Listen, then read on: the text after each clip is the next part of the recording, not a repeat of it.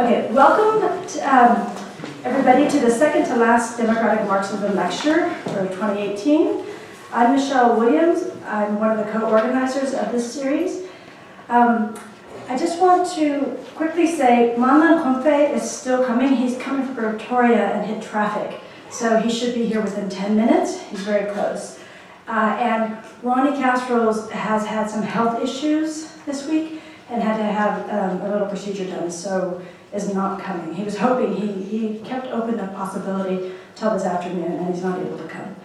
Okay, um, I wanted to start with uh, a moment of silence. It was on this day in 2012 that 34 mine workers were shot down in Marikana, and their families and the workers, I think, around Marikana, workers everywhere in the country, are still waiting for justice. So I thought we could take a moment of silence for the um, victims.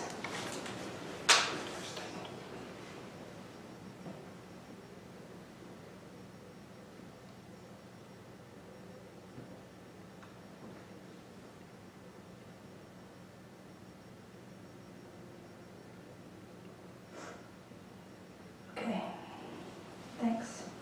Um, I also wanted to, while I'm on the sad note, I'll do it all at once.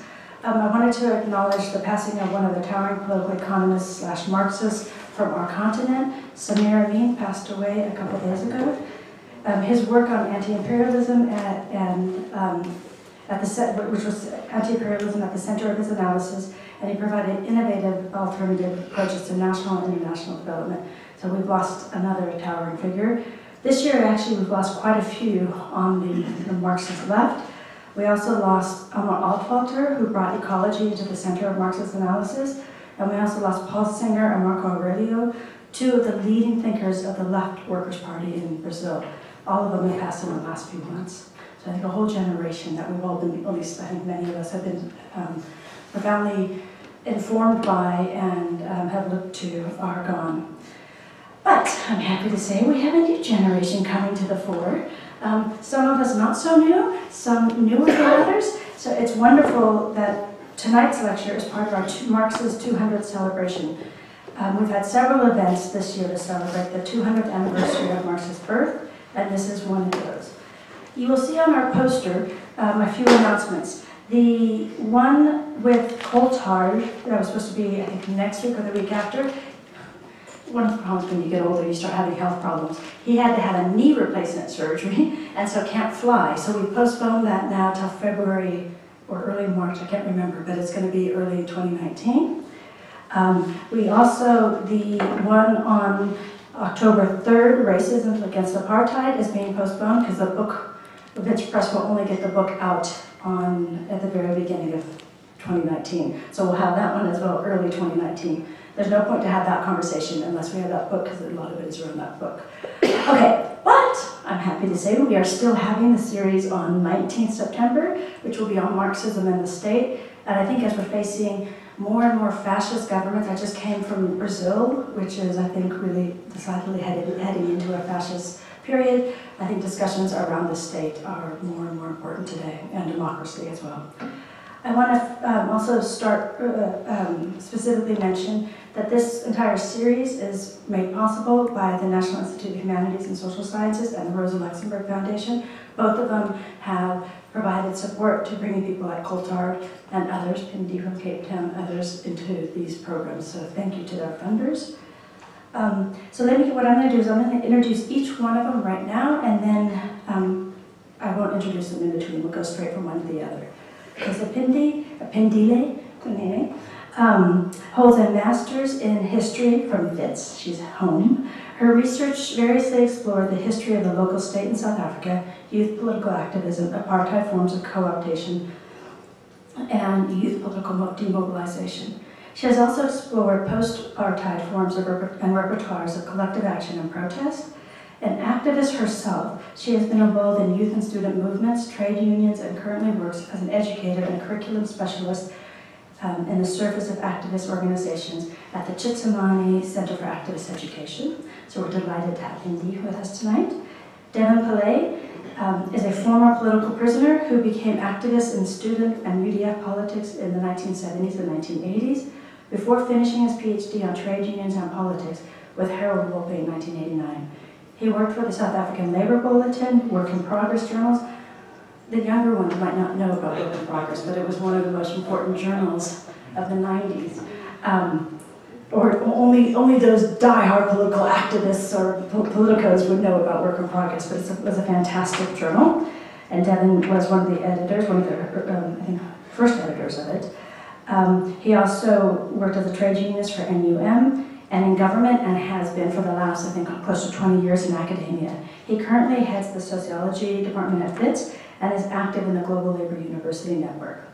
Mandla Nkomfe, who is the one late from Pretoria, that he'll be here in a few minutes, is a member of the ANC, a deputy chair of the um, um, Ahmed Kathrada Foundation, and a special advisor to the Minister of Public Enterprises. He's also the, chair, uh, the chairperson of Future South Africa. And Vishwas Satgar has been an activist for over three decades. He was a community youth and student activist in the 80s in the Natal Indian Congress and the UDF. Trained in labor law, he worked for COSATU's think tank Naledi for five years on labor market reform in the mid-1990s. He was expelled from the South African Communist Party in 2009 for his stand against Zumification. He is the co-founder of the Cooperative and Policy Alternative Center, the Solidarity Economy Movement Network, the South African Food Sovereignty Campaign, the Vukani Sidikwe campaign, Zuma Must Go campaign, SOSMET, Trade Union Education through WITS Social Theory, and I think the list goes on, but that's all I'm naming. He is the editor of the Democratic Marxism book series. Vish, can you hold up the book? That's the third volume, and we're waiting for the fourth one, which is on, Marxism against racism. Um, he, and he's an associate professor in international relations. So what I plan to do, I'm a very strict chair, so I'm going to give, we've agreed, all of us, that they're going to have 15 minutes each, and after that I'll have them all speak, and then we'll open it up for a conversation, a collective conversation at the end. And we will end by 7, because I know that's what we said we would do. Okay, thank you. All right. So, um, do you want to stand? Do you want to sit there, or do you want to? Um, I don't know. Am I audible? Can I speak? Can you hear her? Is it a problem for recording? Is, can you hear her, or do you want her up here? Up Up. Sorry. Poor thing. She's eight months pregnant and standing up here.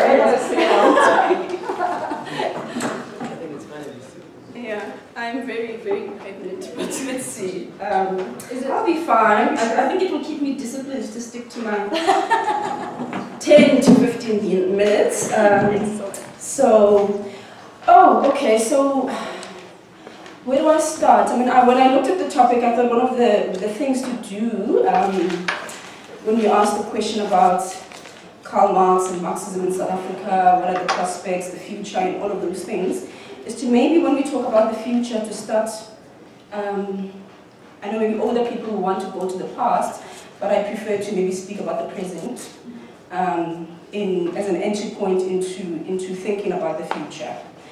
And so what I thought was that, I mean, when, you, when, when my own cursory analysis, and it may be limited, a cursory analysis of the 21st century African political scene seems to suggest that even though the continent has been anything but silent politically, political expressions associated with Marxism seem to be very marginal or on the margins of, of popular struggles. And you're welcome to, to take this argument on and to contest it and all of that. But I'm arguing that from young people who are involved currently, as we speak, in struggles against despotism, electoral flow, fraud, manipulation of constitutions, repression, unemployment, privatization, environmental degradation and corruption, Marxism hardly, hardly features or hardly serves as a clue that sort of holds some of these movements that we've seen popping up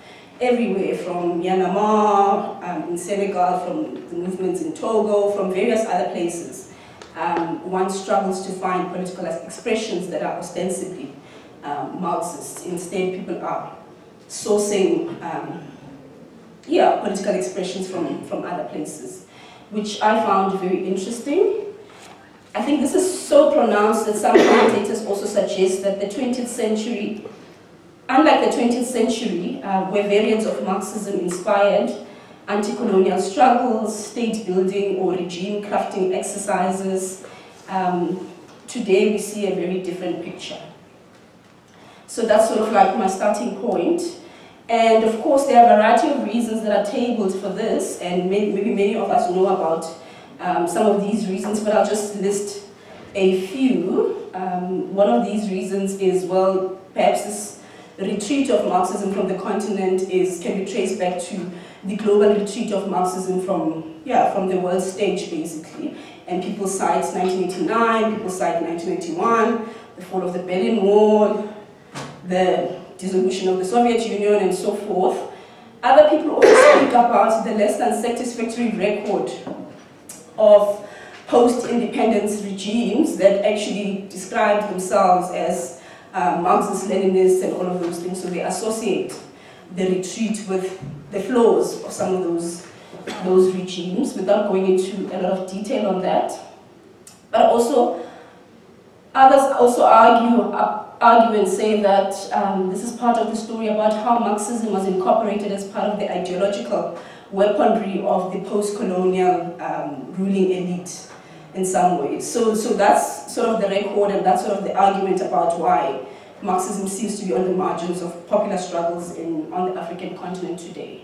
But I want to come a little, a little bit more to the South African context because when one looks at least at organized movements, at mass movements, we don't seem to be having a scarcity of organizations that in one way or another describe themselves as Marxist this, Marxist Leninist that, and all of those things. So when you look at the YCL, the SACP, the EFF, the unions, and all of that in the constitutions, the policy documents, and all of that, you're likely to find some reference um, or another to, to, to Marxism.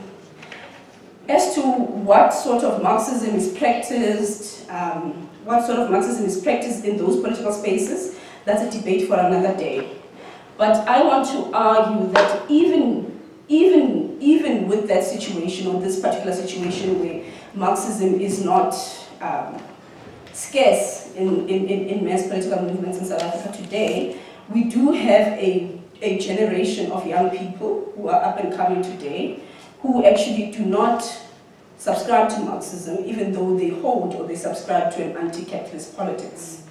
And that's sort of my interest um, in a way. And what I'm going to be doing today is to maybe reflect a little bit um, from, based, reflect on my interactions with some of the members of this particular generation, what their apprehensions are, what their reservations with, with regards to Marxism are, and then and then see whether we can draw some conclusions um, in the seminar and see whether we can, maybe we'll have some contestations around some of the reasons that are listed um, by these young people. Sorry. So one of the things about being this pregnant is that you run out of breath very quickly, so bear with me. Um, so so, so I, I, want to ask the question, why is this the case and why is Marxism falling out of favor, particularly with yeah, a generation of young people who are entering the political terrain? And I don't mean to, to talk in, um, in, in broad terms, so you'll just, you'll just bear with me. To explain this, I'm going to list about three reasons. It's not an exhaustive list, but let's see if we, it, it gets us some way. The first um, reason I want to pose as a question, and this question is, could it be that part of Marxism's loss of purchase among young activists today is linked to how Marxism became instrumental instrumentalized by a post-apartheid political elite? So, so that's the question I'm asking. Is that question clear? Right? So I'm asking whether the question, I'm, I'm asking whether Marxism is falling out of favor because maybe Marxism has been recruited um, as part of the ideological justification of a post-apartheid political elite. And I've got a number of examples to draw from, but without painting the SACP, uh, Vish and Zico in, um, as a monolith and without dismissing its um, internal contradictions, I think it's important to consider how the ascendance and incorporation of the senior party cadre in the state, post-1994, till today, and the evident absence of a radical agenda therein has led to, the, to a form of cynicism about the SACP's politics, and perhaps by, by extension about Marxism, and how this actually became even more pronounced um, in the recent past with, with the Zuma administration. So many of the people who are active in the student movement, who have been active in the student movement, different generations, would also know how, I mean, it's not a classic example, example, but one of the examples is how the Minister of Higher Education at the time, Blade Nzimande, actually locked horns with students around, around um, free education, and many of us actually do have some arguments about how, yeah, the radical agenda was not pushed far enough, and in actual fact, as someone who comes from the party, he was a little bit conservative um, in that particular space. There are a number of examples that one could also cite. I, I like this one about Thulas Nxesi, who's also a leading member of the party, who actually went out and justified the corruption in Nkandla, and as a result, nobody takes him seriously today. So, I mean, it's a long list of examples that we could sort of use um, to, in, in, in response to, to this question. But I think to this, one might add the increased bureaucratization of unions, who also subscribe right to a form of Marxism or describe themselves as such, and how they have become defined by big men with bodyguards and multi-million rent houses, and the big men who abuse organizational power, who sexually prey on women, and lead lives that are very distant from the rank and file, or the very people that they lead. Um, there is also something to be said about how some Marxists have also presided over regressive university decisions way back that we are still, I mean, whose consequences we are still fighting to this day. So to sum it up, um, this reason number one is, is I, I, can sum it up with the question, is there any validity to the claim that Marxism has become part of the politics of the establishment? Um, as to what form of Marxism, that's another question altogether, and I'd like us to actually delve deeper into that. Now to go, go to the second question, or the second reason. And that second reason is that a popular, and I'm drawing this specific, this specific reason from a Marx 200, the bicentennial celebrations that we had at Tshisimani where we went through six weeks of studying the Communist Manifesto and then we had a five-day camp um, called Marx in Africa that drew from young people from PASMA, EFF, YCL, um, other social movements like equal education and all of that. And, and so the second reason is like a popular and often, often repeated critique of Marxism today is that it pays insufficient attention to race um, and that it conceives of a revolutionary subject that is white, that is male, and that is European. Right? So that's what you're mostly like, likely to hear when you speak uh, to sections of young politicized people today who subscribe to an anti-capitalist politics. So I would say that we know now, um, or we've known for some time, that this is devoid of historical fact. But given its recurrence and acceptance as an article of faith, it is perhaps not useful to simply talk of maybe Kevin Anderson and cite Kevin Anderson and how Kevin Anderson actually rediscovered or um, reintroduced or introduced Marxist evolution um, in terms of his worldview on non-Western societies and so on and so forth. I'm arguing that it's, it's maybe not sufficient to just do that. And maybe it's also not sufficient or enough to wheel out Marxist, Marxist traditions that sprung up from anti-imperialist and anti-colonial struggles of the 20th century. So you can't just wheel out Roy or C.L.R. James and so on and so forth and say, this question is done and dusted. We, we've answered this question. And the reason why I'm saying that is that in today's context, it is important to go beyond this because one, we see deepening divisions and enmity between and within sections of the working class in South Africa today. I only have to say things like maybe Khartfall, Cape Town, and um, how sections of the working class, the colored and the African working class in parts of the country are actually at each other's throats. Um, in some way. So, I mean, there is a particular form of race politics that is developing there that is actually quite damaging um, to working class politics. So you can't just ignore that question and say it was settled in history.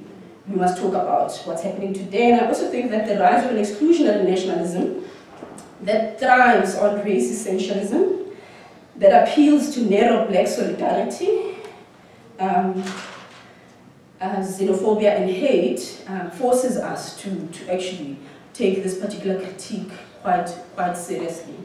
And so this is a particular challenge to Marxism because not only do shortcut political strategies, and we've seen them in full display in South Africa um, in the recent past, not only do these strategies rely on the, on the devices of division, but because these politics actually do have some purchase in working class communities, partly because people are so pushed against the wall, and when people are pushed against the wall, it's not always in radical politics that is born out of those conditions.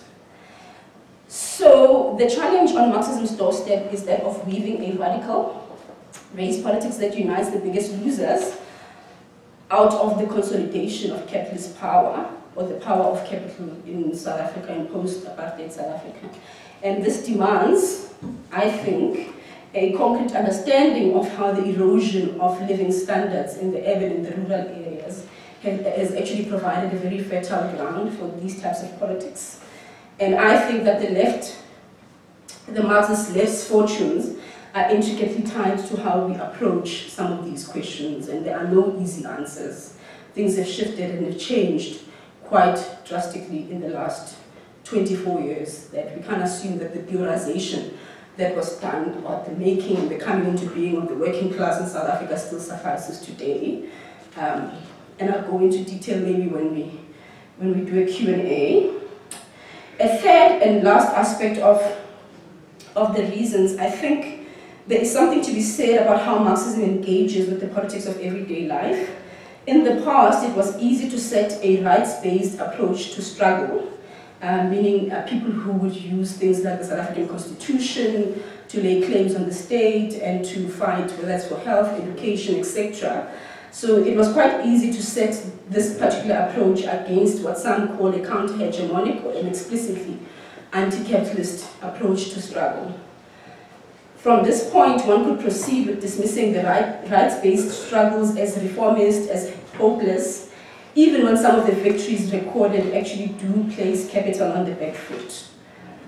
But I think our times, in some ways, demand that we push such politics aside because they haven't really been, um, been helpful. And I think we need to push them aside and prioritize a politics that builds bridges. And by this I mean that a politics that brings the revolutionary subjects together. And there's still a question about who is the revolutionary subject in South Africa today that we could possibly talk a little bit about. But a politics that also appreciates how different struggles intersect, how people come into political action and what motivates them. And a politics that also goes beyond um, the big moments or the big explosion, a politics that takes the everyday struggles very seriously. And linked to this is a need to ask ourselves whether the preoccupation with political parties, as important as they are, because political power is important, and contesting the state is important, but to ask ourselves whether this preoccupation with political parties and the electoral terrain is really doing us any good, and I'm saying this because we are also approaching 2019 and already um, when we speak about the political instruments, there already talks about how yet another revolutionary party might feature or might be vying for space um, on the electoral ballot. So I think that's something important to consider. Um, in conclusion, when I was organizing just my thoughts around this seminar, I found Michael Burawoy's Trinity on Marxism's potency very useful. And what he basically says is that, well, there are three things really about Marxism. One is its critique of capitalism, or what he calls objectivity. The second is about resistance, um, what he calls engagement. And I think those two things are very important. The third one, however, I think is, is critically important for our times, and I think that's what he calls imagination and the ability to actually think about the world beyond what we have right now. And I think um, the resilience of Marxism in South Africa will be tested in that terrain because not only do we have to critique and continuously study the system or to resist it, but I, I do think that visions of alternatives um, can breathe hope into, into our politics. We do have a, a, new generation that is testing its strength, experimenting and posing new questions. Um, and I think a politics that lacks imagination, possibility and openness will probably not attract its attention or its affections. Um, so I'll end there. Thanks.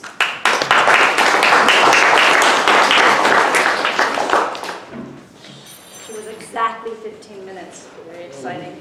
Devan, look at. Sorry.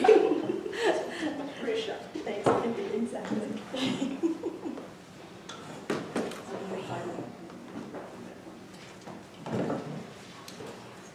Thanks, Michelle. Um, and thanks, Speedy. That was uh, very stimulating. A lot of thought-provoking issues there. I actually don't feel like speaking now because you raised so many uh, critical issues of our time that I want to rather go back. It's more comfortable to reflect backwards. You reflect from the, the current space of today um, which is exceptionally challenging because all the things that we as young activists in the 70s and 80s, um, things we thought we had left behind, narrow nationalism, um, uh, the politics of, um, uh, of reaction, etc., it's just coming to the fore with such a force that we've, we, we've been caught off guard in a sense over the past few years. So let me go back. I want to wave a book around because I just love this book so much. Uh, it's just come out this year. It's, it's thick, but it's very readable. Uh, it's called A World to Win the Life and Works of Karl Marx by a Swedish author, um, Sven Erik Liedman, published by Verso Press. I really recommend you buy this. If there's any, if none, none of you have read a biography of Marx, this is the one to read because, I'll tell you why it's important. It's not just another biography of Marx. You know, Marx, many people have written about Marx over the years, but they had to rely on certain bodies, bodies of his work that came out in drips and drabs. Lenin, for example, only had access to a tiny percentage of his work, and he wrote about Marx, Trotsky, etc. Um, then you had uh, the so-called Western Marxism had access to more, like the Grundrisse and others, and came up with further insights and tried to revive the, revive the humanistic aspects of Marx. Others like Althusser came back and reasserted structuralist Marxism, etc. Um, what has happened now over the past few decades, and it's a continuing project, is that um, all of Marx's work has been gathered together um, and this guy has read everything. Right? So this is like the up-to-date version. But he combines that, the theory, uh, integrates that into the life story. And it's really, really well done. Um, and the one thing that I got from this, now you, you, you, you would have heard of the critiques, right? Is a democratic Marxism perspective, which some of us uh, uh, feel close to, um, which we feel is that it tries to get back to the dialectic, or what we call the dialectical essence of Marx and the humanist and democratic dimensions of Marx. And in doing that, there might be an appreciation of Lenin, but also a critique of Lenin or Leninism, right? Uh, as Phindi mentioned, um, the fact that Leninist regimes in power have been very brutal, undemocratic regimes. And so Leninism, Marxist Leninism has become associated with Stalinism, although people who want to make a separation, Trotskyists want to separate themselves from that. Um, but nevertheless,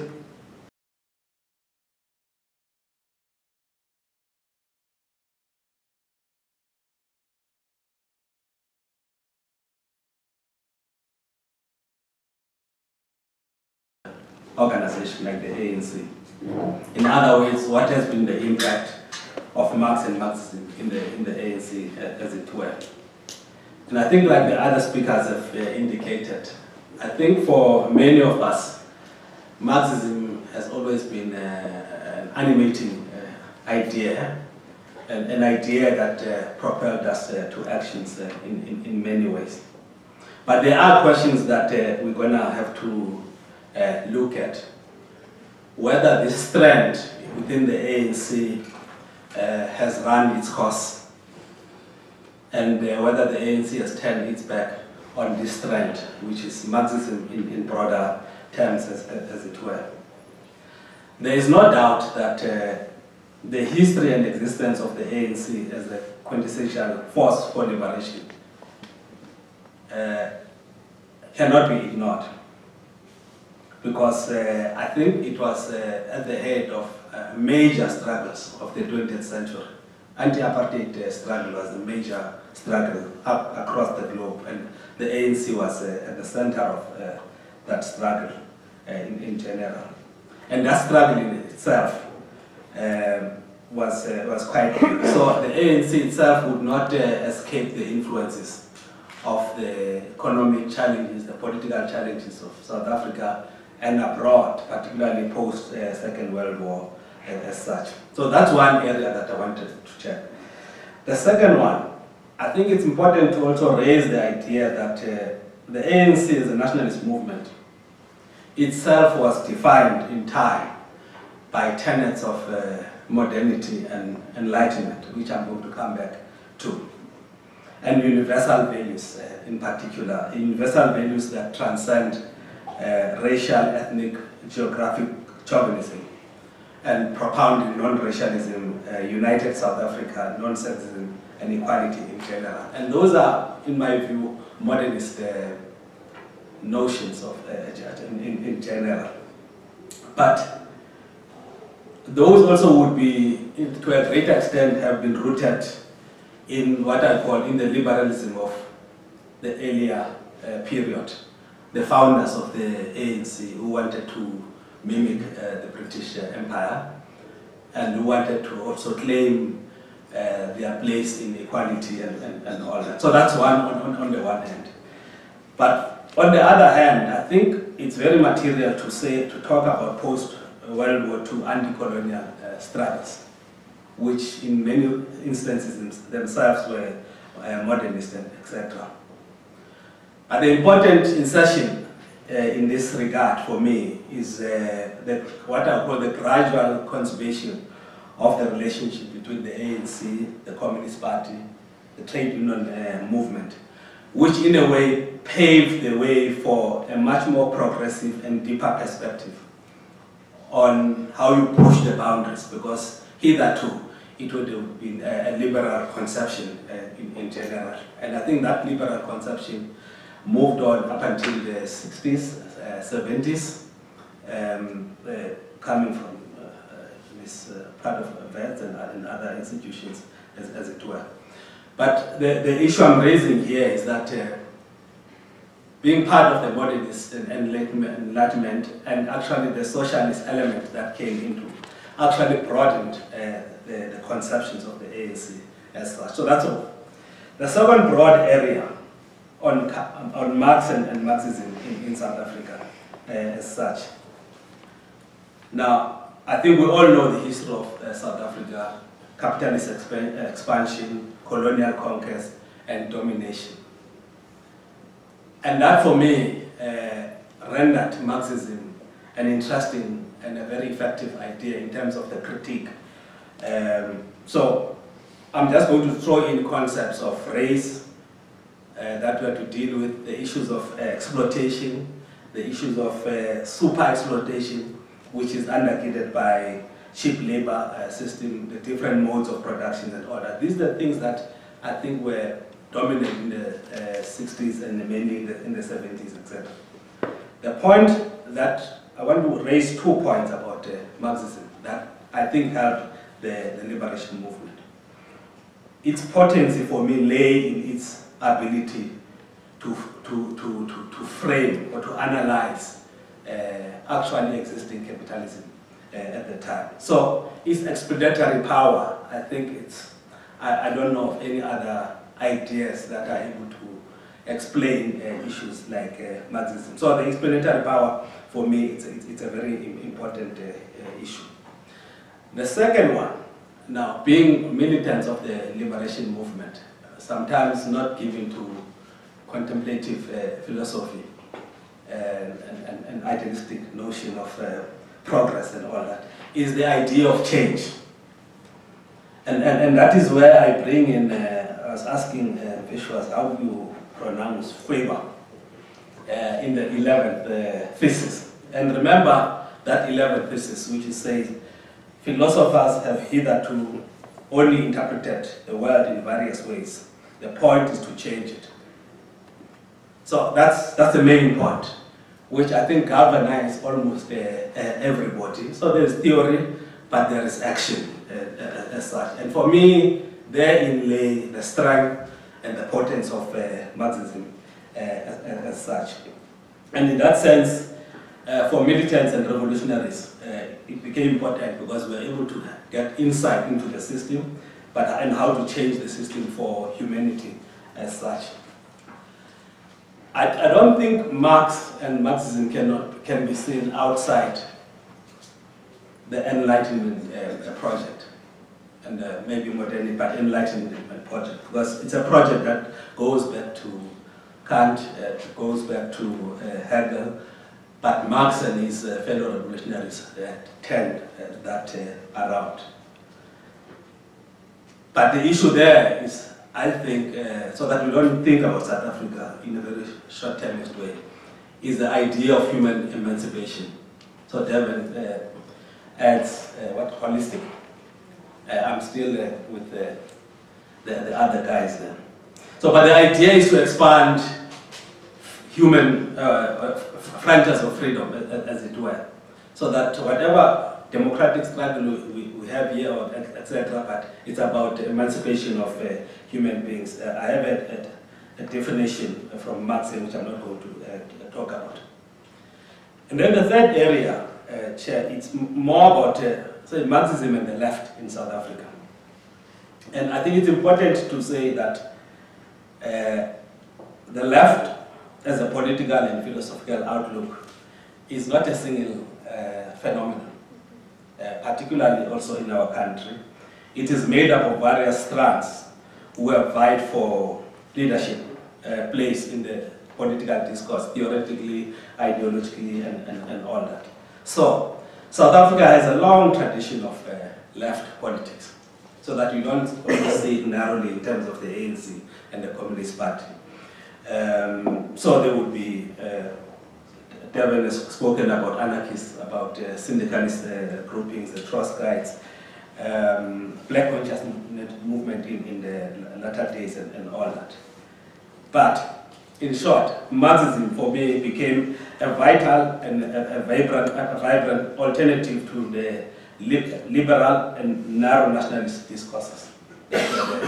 Particularly in uh, now in the 40s uh, and the 40s, there's a, this idea of the new African. uh, the Lembedes and uh, the Mandelas and, and all new Africans, really educated folks and, and all that.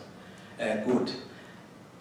But the issue there, I think it helped us to uh, push quite a, a, a, lot of things. So Marxism, I think for me, helped us to, uh, to deal with that.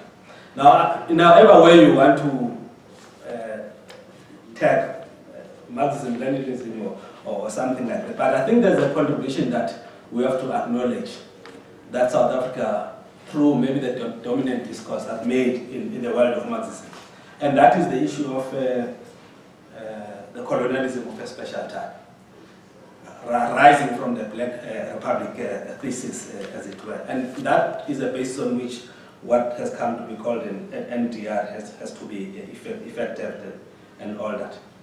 So there is a reality of the ANC which I've uh, actually spoken about.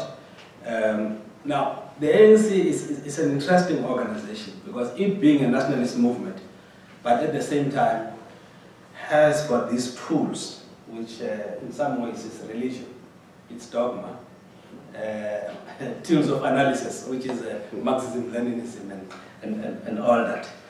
But they are left nonetheless.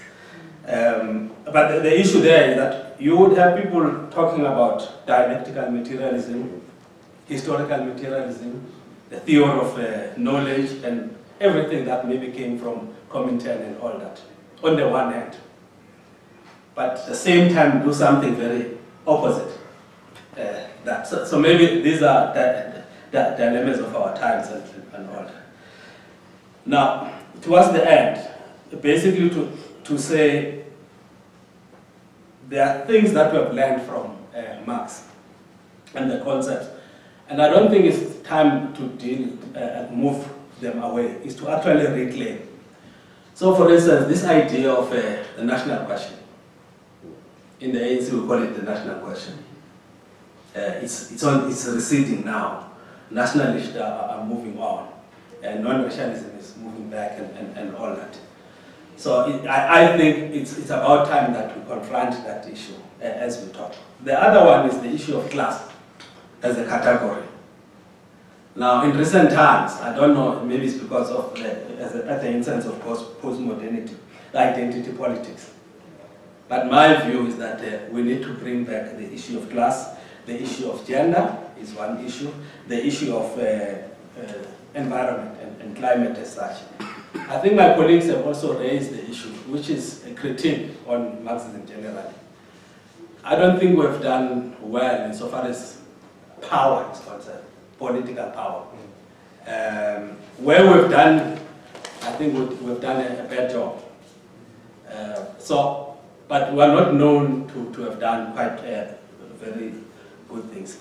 Then, on the relevance of Marxism today in South Africa, for me, as long as capitalism exists, I think there is a, relevance for Marxism in, in South Africa.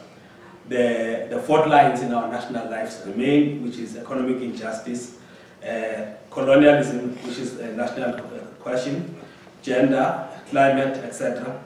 But the issue, I think for me, is understanding contemporary capitalism, because it's not the same as earlier capitalism. Now, I don't think, I think we are in a space in South Africa where, I don't know, we're very far from what's happening in the world. We, we're not grappling with the nature of capital as it exists today. It's the different modes of uh, existence and, and all that. So that's, for me, it, it, it's a very important issue. And what does it mean to have to contribute as global south to, to, to Marxism, uh, as, as it were? What is the future for the left? First of all, we have to define what is the left. Now, the purists amongst us will define it in a very small way, in a corner there, as Marxist-Leninist, as uh, this and that and that. But I need, we need to revisit that in terms of what is it that uh, constitutes the left, as it were. There are issues there. For instance, I think I hear these days talk about democratic socialism. It's very important. Non-sectarian politics, very important. Building of the uh, movement of the working class, very important. Tactical alliances, so far as social justice uh, is concerned. I think we've lost that. Maybe I'm in the ANC and the government. So I don't get a sense of the internationalism. Uh, but the international perspe internationalist perspective of our struggles uh, in general is very useful. But because we're also in the continent, understanding the post-colonial state and its undemocratic uh, impulses and the political economy that underpins that uh, post-colony, uh, as, as, it were. It's very important, I think, uh, to also not think in sectional terms. And I think somebody, maybe the syndicalist will say the working class must be the vanguard. But whose responsibility is to fight for national purpose, uh, for national interests, in, and, and bring a, a, coalition of groupings, etc. And I don't think we've done that very well as a South African uh, left. I think we're in, a, in our own uh, small corner there. I think uh, it could be Phindi who, who, raised the question. I, I raise the question again. Can the left pursue its objective through a single political expression? Or do we have a broader sense of uh, the left, uh, as, as, it were? Contemporary, I, I, spoke of human emancipation as such, and, uh, but also, I think because we're active participants in the, in the revolution. Yeah? For instance, let's take theory of imperialism. It can't be that it ended up with Lenin. And today we can't theorize around uh, imperialism, its mode of existence uh, today, etc. The idea of the national democratic, uh, coming from ANC, now, National Democratic Revolution, is it still relevant? Is it helpful? Or are these things fetters or they block us from our free conception of what needs to be done. Otherwise, we've got get back down, bogged down like hey, it's, it's a religion, as, as it were. So in that sense, I think we'll be able to build what I think you're saying is counter-hegemonic uh, alliances, but not counter-hegemonic alliances in small corners and all that. But in real struggle, power is also a very important uh, issue to transform people's lives. Thank you.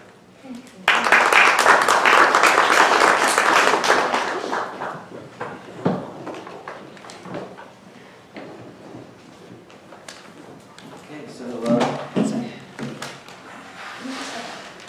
We're gonna have to go to seven fifteen, seven twenty, yeah. okay. All right, good evening and thank you um, for coming. Um, I'm going to kick off with a response to Phindi because I actually agree with a lot of what she says, but take it in a slightly different direction and then try and speak to maybe three or four points. Um, the short uh, question that was posed in our poster was, you know, Karl Marx and South African Marxism, is it over? And I think our starting point is that a form of official Marxism is in crisis. And I think this is where I fully agree with Phindi, and for all the reasons she cites. Um, appropriation by a ruling elite, um, a, a Marxism that doesn't speak to the everyday, and so on.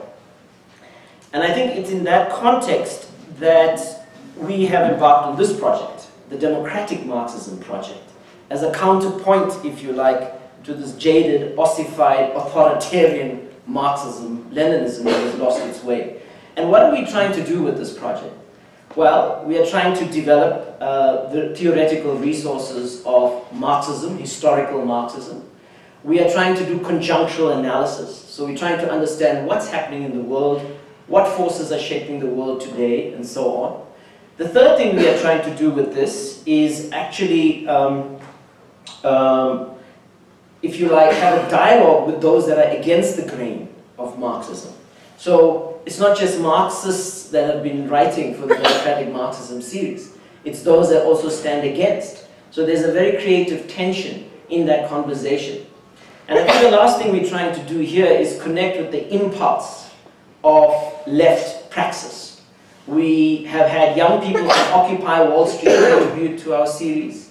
We've had young people involved with food sovereignty campaigning, climate justice campaigning, solidarity economy movement building, and so on. So in a sense, this is one response to the crisis. May not be the perfect response, it may not be the complete response, but it's there. I put my notes on my phone, so I have stress. I have difficulties reading.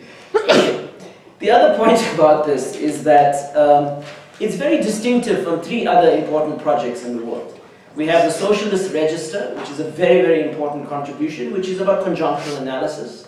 Uh, we have the Monthly Review coming out of uh, the US, and that's really a particular school of Marxism, a monopoly, finance, capital approach. And then, of course, there's subaltern studies, uh, which emerged in India and used the Gramscian approach to develop, if you like, histories from below and theory and so on. So, in a sense, this is us, in a modest way, in the South African context, trying to break new ground.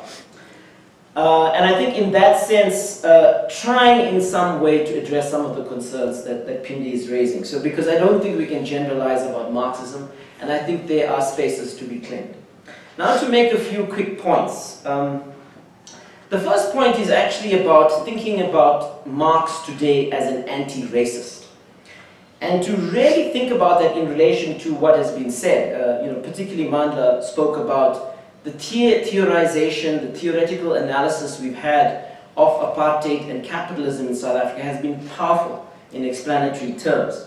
These are Marxist theories, so whether they articulations of modes of production, whether they are racial capitalism, whether they are colonialism of a special type, these theories have been very, very crucial, but they've traveled, they've evolved, they've developed as Marxist theories.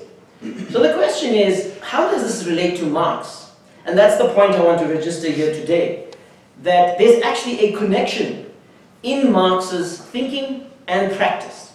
These theories have, if you like, a lineage. Okay?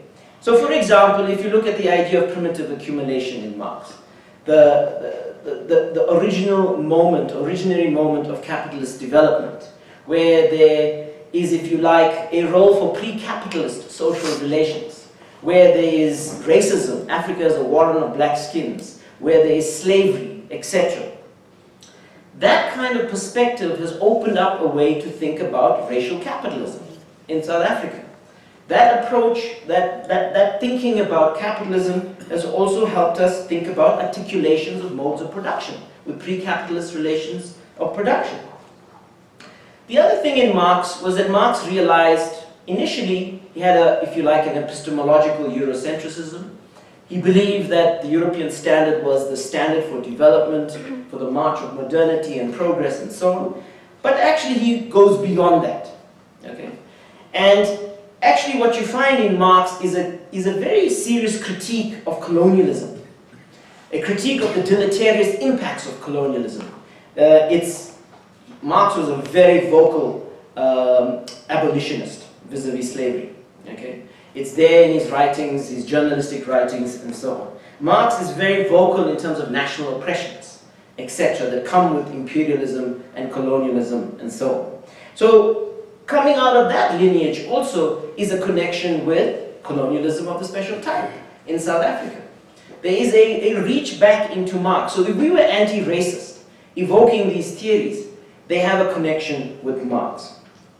The final point I'll make about this is that the anti-racism that we practice in South Africa as part of anti-apartheid resistance also connects with Marx's own anti-racism in his time. And this was him if you like, standing up against racism in his world, in, in his society, and so on. So that's the, the first point I want to make, and, and, and maybe, of course, you know, these theoretical frameworks that we have, etc., may not have fully broken with Eurocentric modernity, particularly industrial scale violence, exploitation, violence, ethno-nationalism, alienation, and ecological destructiveness particularly in their, their conceptions of socialism. So does the Freedom Charter, for example, break with a Eurocentric modernity? Does the minimum program of Trotskyism break with a Eurocentric uh, modernity? I think these are the deeper, deeper questions we have to grapple with. And Samir Amin gives us some guidance on this journey as well, uh, the late Samir Amin in his book, uh, Eurocentrism. The second point I want to make is this. Marx gave us a sense of the requirements of capitalist accumulation in Capital, published in 1867. Samir Amin, in his general historical materialist analysis, suggests contemporary capitalism is obsolete.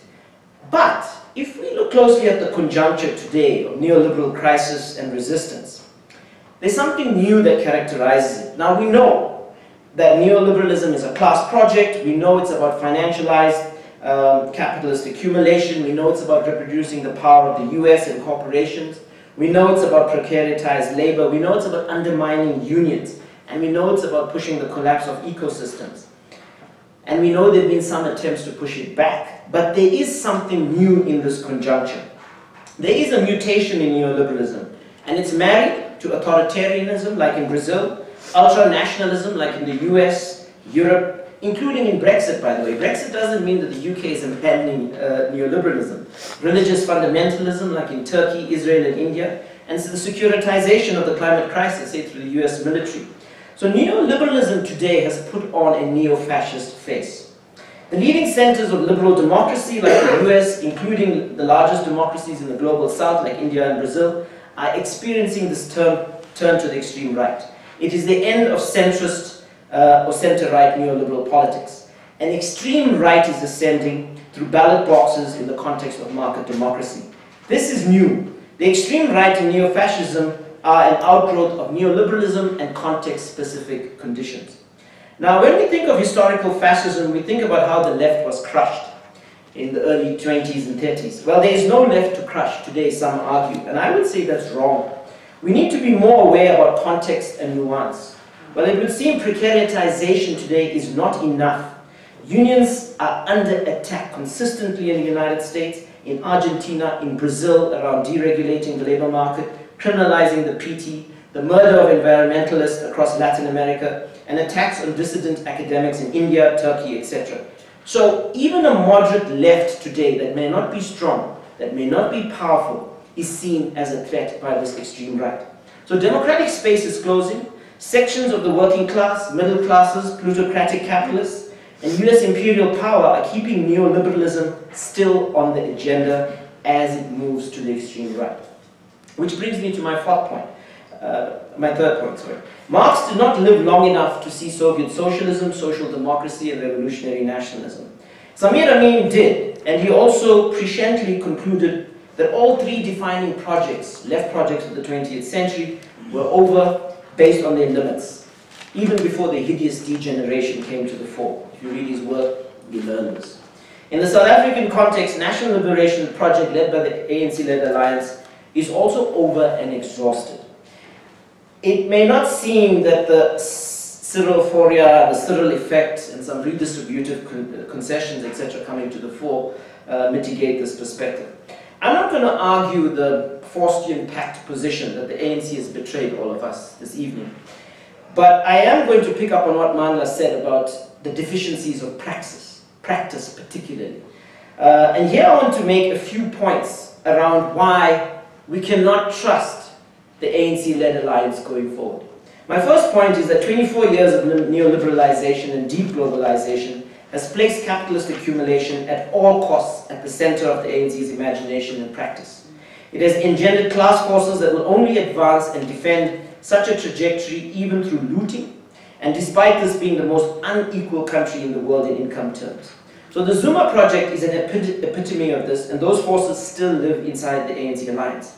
There is no alternative to neoliberal or kleptocratic capitalism in the ANC alliance, which actually makes it anti-left. And both these tendencies are there today, and it is possible that the ANC can move to the extreme right as well, like what's happening in the world. The second point is that it has constructed a market democracy in which credit rating agencies and corporate interests are paramount over citizens. So regulations of banks are not about the interests of the country, but to ensure they can make more profits. Uh, we're talking about VAT, but we're not talking about corporate tax rates that were over 50% in the early 90s, which are now at 28%, and so on. So it's, it's very, very pro-capital, and in that sense creates a space for proto-fascism. There's an attacking, co-opting, and dividing of the working class. The Marikana massacre, uh, which we are, if you like, remembering today, was the most heinous attack on the working class. If you look at what's happened to Cosatu and the divisions in Cosatu, without a strategic, organized working class would, that's not able to take the strategic initiative, well, I'm sorry, those that are at the center who have these dubious intentions and projects are who are going to prevail. And then, of course, there isn't a serious commitment, uh, rather there's a commitment to carbon and climate capitalism, which is incapable of addressing the climate crisis in a fundamental and systemic way. So I'm saying that the ANC-led alliance does not appreciate the ecocidal logic of contemporary capitalism. And for these reasons, we cannot trust it with the future. so, you know, we've got 24 years of a record of practice. Uh, and for me, I've reached these conclusions.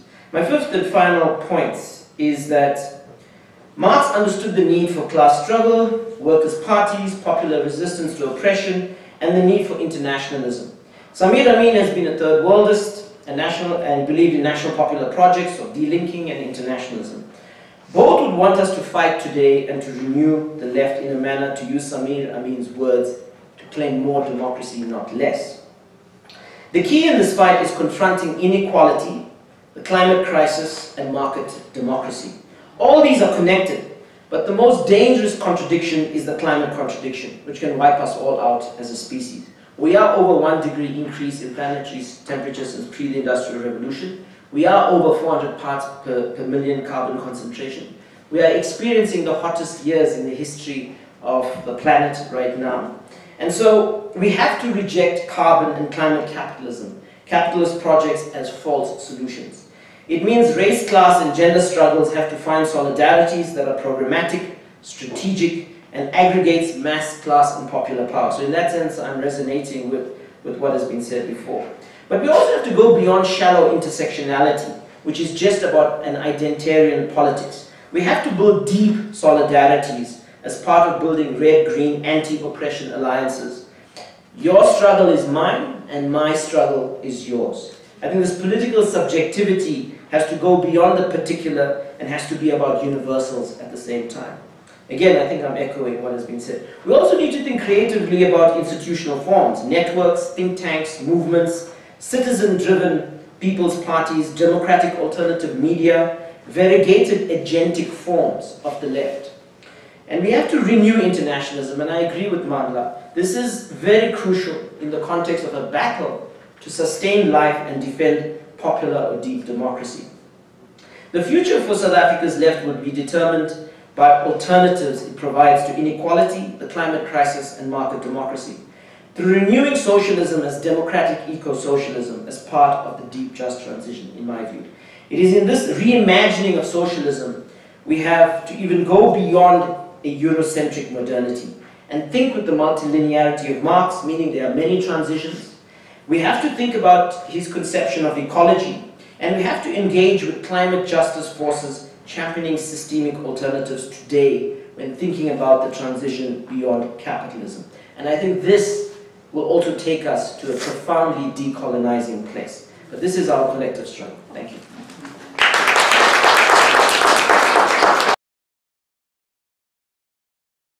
because it's Marxism, but rather because it gives us tools of analysis. And if they don't work anymore, we want to find something that does. So we're trying to rethink. I think we're in a really complicated space as humanity. Um, and I think until recently, we assumed that political democracy was kind of here to stay. We are now in a time where it's not just economic democracy that we don't have, but it's also neo-fascism, authoritarianism. I've just had to do some traveling, and everywhere I went, whether it was Germany, the USA, Brazil, India, I've traveled to these places in the last six months, every single one of them are becoming anti-democratic, and they are silencing voices on the left. So as the left, and as each speaker spoke and mentioned this, we need to find each other, and these differences are inconsequential to what we might face on the horizon as humanity.